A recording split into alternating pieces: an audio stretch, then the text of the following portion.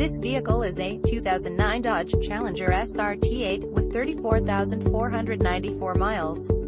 Brought to you by Affordable Classics, Inc. This Dodge is a two-doors vehicle with eight cylinders.